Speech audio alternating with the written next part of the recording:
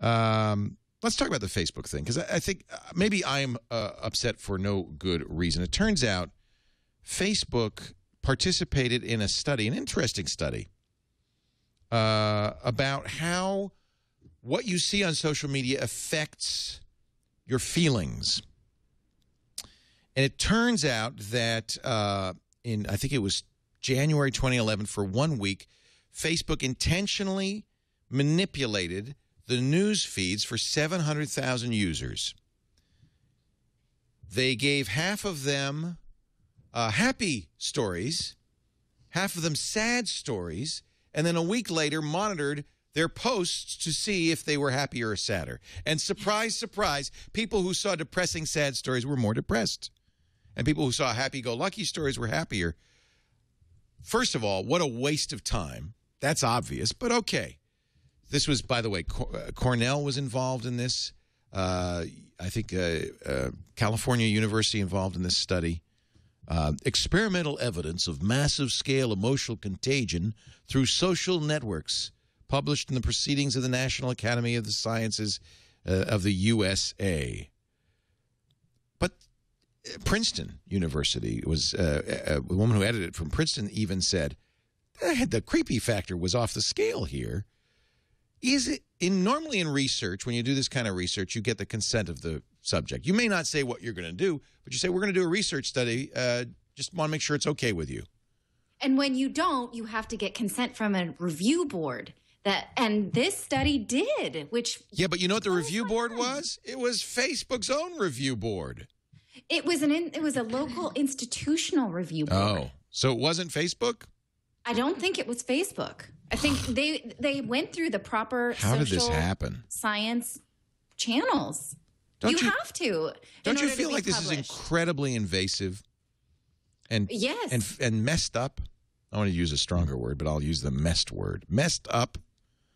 Yes, think it is, because how to- much different is this than the Stanley Milgram experiment, which was That the was messed up. impetus. Yeah. W- w- That was the impetus of review boards. That's why we have them, is because when you manipulate someone's psyche to think the world is one way that it is not, it has lasting effects on them, even if it's something as stupid as your news feed. This is, as the researchers pointed out, part of Facebook's terms of service. And It that's what I was going to say. Don't don't anybody one think that it's illegal. It's not I'm illegal. Sure, they covered themselves on that front. This Yes, is but we this is what Facebook said. ethics and legality are two different Yes, things. unethical, maybe. Legal, absolutely. When users sign up for Facebook, they agree their information may be used for, quote, internal operations, including, I hope you read this carefully, troubleshooting, data analysis, testing, research, research, research, and service improvement. Uh, now, of course, the other point to be made is that Facebook is constantly manipulating the news feed in ways that we don't know. Who knows what the hell they're up to? This makes me want to quit Facebook so bad. And they did this two Again. years ago, which is also disconcerting to me. And there was a statement posted just about an hour ago from one of the uh, data engineers from Facebook, uh, kind of explaining things a little bit better and apologizing and saying that they wish that they had been a little bit more communicative and transparent for the reasoning. But he said, you know, we've learned a lot and grown a lot in the past two years, so we're better at this now. But still, there was been two years of this sort of activity, and that's I'm wondering what other studies are still in the pipeline and haven't even been published yet. Um, but I, I do agree that I think that they were not acting ethically here. But to play devil's advocate, how is this different than a website using an A/B test to decide which headline they should run for a given story? I'll throw that out there. Well, I can tell you one thing. Facebook got sued over Beacon. They're going to get sued over this. Good. I hope they do. I think they will. I mean, Professor James Grimmelmann, who is far more knowledgeable about this sort of thing uh, than I would ever pretend to be, uh, has said, you know, if you're exposing people to something that causes changes in psychological status, that's experimentation and requires informed consent. Uh, should anyway. So, I mean, he's just kind of spitballing as a law professor, but if he's spitballing as a law professor, there are plaintiffs' lawyers out there who are putting it in pleadings and uh, probably thinking about filing. As a class But does that action. mean I don't. I, I that- mean, the Because you case wouldn't was a- know if you were uh, part of the 700,000, right? How would you know that? right? Uh, If you're I just not, was though, really sad. control.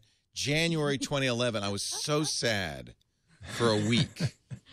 And all of my yeah, I don't know. You'd have to go through and say, it, it, assuming you'd even have a record of what was. I just think this you on Facebook. Then is uh, the only takeaway on this is a little peek under the curtain uh, at how Facebook runs its business, how they are ethically, how they feel about you as a Facebook user, and just you know understand we've learned something here.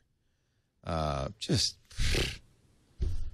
I don't know. I always Well, I- feel bad well, when I yeah, I visit mean- Facebook. I just feel crappy afterwards. I feel like I should take a shower.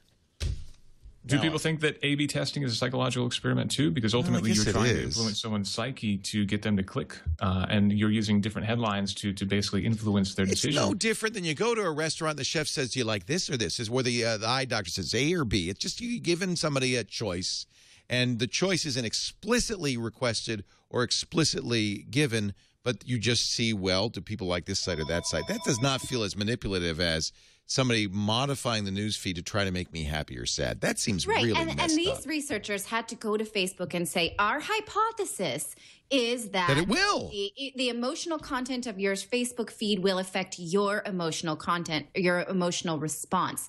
So we intend to manipulate this in order to elicit emotional responses from your participants.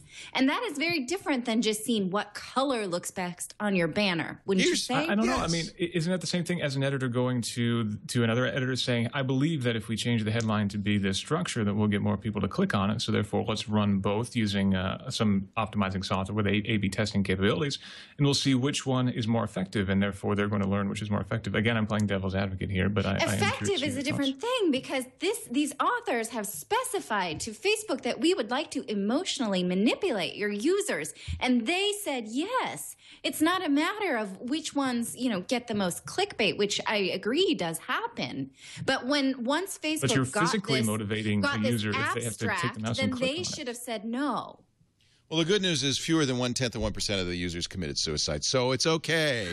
no, I don't know, but that's a legitimate question. What if somebody got so depressed they, they, you know, they harmed themselves because of this stupid study? Then what's the liability? And, and there's one other thing out of this is that I'm not sure that they actually proved anything because if indeed you're seeing sad news, you might say, "Oh, I'm really sorry to hear about that," and then ultimately you Right. are contributing you to their sad. research, but that doesn't necessarily mean that you're actually any sadder Right? yourself. Yeah, it's dumb. The whole thing is dumb. And by the way, you mentioned Natalie. I did quit Facebook once. I wish I weren't on Facebook, but I feel like I, I have to use it so I can report on stories like this. I need to, Yeah. I need to have an experience. Uh, so I'm taking the hit for you. how did That's- this come to taking light? it for the team I'm taking one for the team. I don't want to use Facebook. he's taking a profile for the team You know what I did give up though, and I'm very proud of myself. That stupid Simpsons tapped out. it's taken a while. It well, it was you know I was really hooked on it for a while, and then Electronic Arts crashed it, and I was actually relieved for six months I couldn't use it. Then all of a sudden, Lisa said, "Oh, your your your tapped out seems to be back." And I went, "Oh no, they keep pulling me in." And I, for the last month, it's been about a month, I've been doing it, and I realized it's like an hour a day. I'm farming and tapping. So I'm very proud of myself. I just dele- and Lisa did too. We deleted our Simpsons tapped out because Farmville 2 is coming, and I really want to have room on the iPad. For, no, just kidding. Here's did someone out Facebook or did they out themselves on this research thing? the, the the paper was published. Ah, there we go. Somebody started reading this. And, what? You did what? Now all of the, you know, I think there will be more. Uh, we will hear more So, about this. You know, people need to vote with their feet if they don't want to be. Yeah, I would. I want to vote with my feet. I want to quit Facebook. I think this is ridiculous.